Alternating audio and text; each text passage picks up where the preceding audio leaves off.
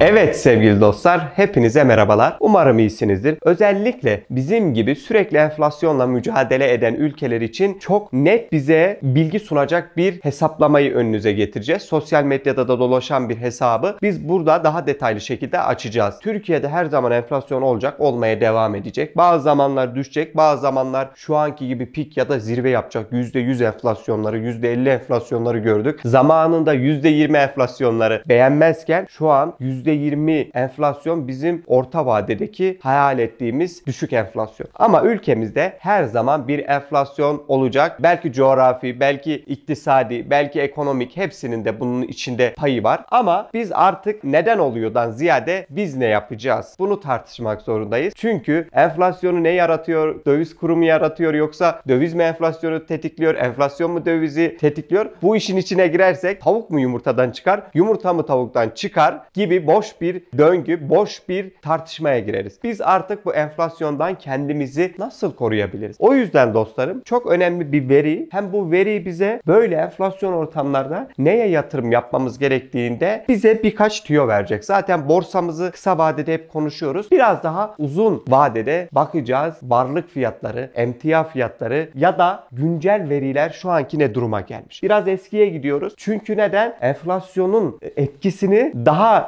uçlarda görmek için zaten geriye dönük baktığımız zaman da bu tablo değişmeyecektir. Bu tablonun şampiyonları her zaman şampiyon olmuştur. Çünkü pandemiden gelen ciddi enflasyon etkisiyle bu tablo aslında hiç değişmedi. Asgari ücret 2000 yılında 109 liraymış dostlarım. Şu an asgari ücret 11.400 lira. 104 kat artmış sevgili dostlar. 104 kat ciddi bir artış. Gram altına geliyoruz. Gram altında burada dostlar özellikle şunu söylemem lazım. Değerli madenler ciddi enflasyon zamanlarında her zaman güvenli liman olduğunu zaten konuşuyor ekonomistler. Ama şu mevcut konjüktürde dostlar ons altının fiyatının baskılanması bunu engelliyor. Altın yatırımcı dostlarımıza da şunu diyelim. Gram altın tarafında dolar artık belirleyici değil. Asıl belirleyici olan bence ons altının yani dünyadaki dolar bazlı altının fiyatı. Bunda zaten bir kıvılcım görsem bu tüyoyu tekrar sizlerle paylaşacağım. Çünkü altın videosunu zaten altın mantıklı yatırımı onu paylaştığımızda burada ons tarafını konuşmuştuk. Altın yatırımcılar lütfen onu dinleyin. Lütfen sadece dolar hareketlerine göre gram altın hareket ediyor demeyin. Ons altın tarafında takip edeceğiz. Burada neyi takip edeceğiz dostlarım? Bu Fed'in faiz artırım politikasındaki değişiklikler işte bize kopya verecek. Bunu ilerleyen zamanlarda gene konuşacağız. Gram altın dostlar 4.80 iken 1680 olmuş. Altın 350 kat artmış. Dolar 0.55'ten 27'ye gelmiş dostlar. 49 kat artmış. Televizyonda izlediğimiz ekonomistlerin bize öve öve bitiremediği dolara dostlar bakıyoruz 49 kat artmış. Biz hiçbir siyasi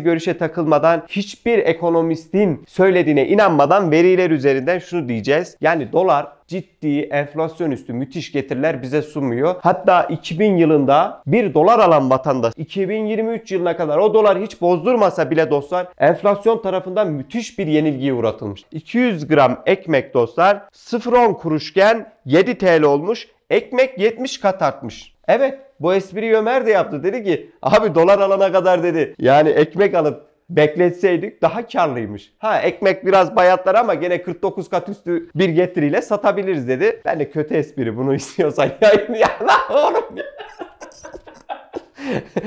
ben de dedim Ömer ekmekle şaka olmaz. Bu konuyu burada kapattık. Dostlar Ford Oto'ya da bakarsak işte ne derler? Bam teli. Çok omelli. Aynen çok önemli, çok ömelli. Bunu hazırlayanın emeğine sağlık. İnanın not bulamadım bunu kimin hazırladığına. Sosyal medyada dolaşıp duruyordu. Yoksa ona da böyle bir tabloyu hazırladığından dolayı teşekkür etmek isterdim. Ford Oto 0.43 kuruştan 847'lere gelmiş. 1969 kat. 1969 kat artmış Ford Oto. Hemen dostlar ön yargılı olup şunu lütfen söylemeyin. Hani buraya ciddi artan bir hisseyi koymuşsunuz diye ön yargıyla bizlere yaklaşmayın. Ford Oto özelinde zaten onun 2000 yılından beri mevcut konjüktürün avantajlarını kullanarak ciddi atak yaptı. Ha bunu Ford Oto'nun yerine inanın bunu silsek aynı bu şekilde prim yapmış. Şu an 10 tane hisse yazabilirim. O yüzden yani sanki bir tane şirketi cımbızlamış gibi değil. Ford Oto güzel bir örnek. Ha bu örneğin yerine de burayı silin atıyorum Ege Endüstri, Aselsan oydu buydu. Çoğunu yazabiliriz bence. 1969 olmaz, 500 olur, 600 olur. Yine en fazla o olur. Ha doğru. Yani Ömer de şunu diyor. Hani buranın yerine gözümüzü kapatsak şuradan tabii BIST 30'dan bir hisse seçsek diyor. Gene 400, 500 kat, 300 katlar var. Her türlü bu tablonun şampiyon olur diyor ama 10 tane şirket yazsak burada aynı performansı hatta geçen şirket bile vardır sergileyebilir. Burada da şu örneği vermek istiyorum. E şimdi Ömer'le baktık. Ya dedi acaba o yılda bir Ford araba alsak ne kadar dedik. Baktık dostlar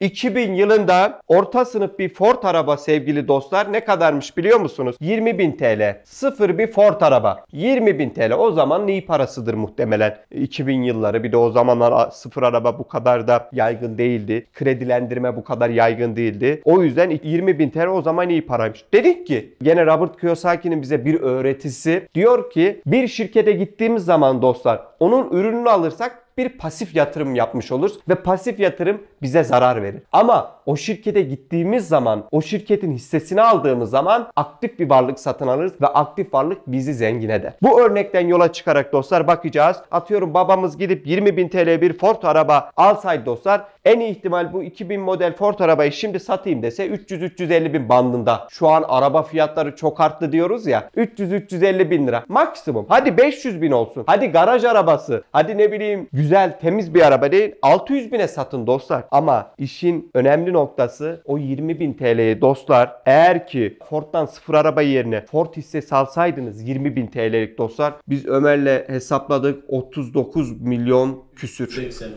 Al 39.380. Yani o 380 bin şu anda o 2000 model ikinci el arabayı alır.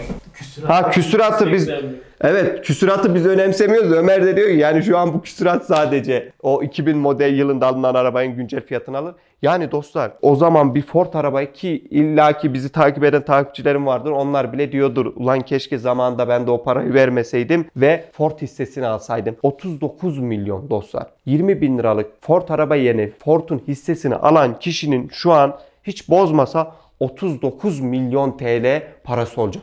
39 milyona dostlar şu an Ford bayisine gidip 30 tane Ford sıfır araba alabilirsiniz belki. İşte bu örnek de bize dostlar geriye dönük enflasyonun etkisinin varlıklar üzerindeki ya da veriler üzerindeki bize uçurumu gösteriyor. Yani bu tabloda şunu anladık. Enflasyon zamanı varlıklar her zaman prim verir. Hani enflasyon zamanı malınızı satmayın derler ya. Çünkü buradaki hisse senetleri de dostlarım orta uzun vadede hisse senetleri de bir varlıktır. Çünkü neden? Hisse senetlerinin evi, arabası, şirketleri, yatırımları vardır. Biz aslında ona ortak oluyoruz. O yüzden enflasyon yükseldiğinde nasıl ev, araba fiyatları yükseliyor da hisse senedi fiyatları da yükselir. Çünkü hisse senedinin fiyatını aslında varlıkları belirler. E, şirketin evinin, arabasının, fabrikasının bunların hepsinin değeri arttığı zaman hisse senedi fiyatı da artar. Orta uzun vadede. O yüzden şunu artık diyebiliyoruz. Orta uzun vadede, bu orta vade değil, bu uzun vadede varlıklar, hisse senetleri ciddi bir prim yapmıştır. Sonra gram altın, değerli madenler zaten enflasyon zamanı primlenme potansiyeli var. Şu mevcut durumda ama FED'den dolayı ons fiyatları baskılandığından dolayı dostlar bunu özellikle söylüyorum. Altıncı yatırımcı dostlarımız sürekli yazıyor bize.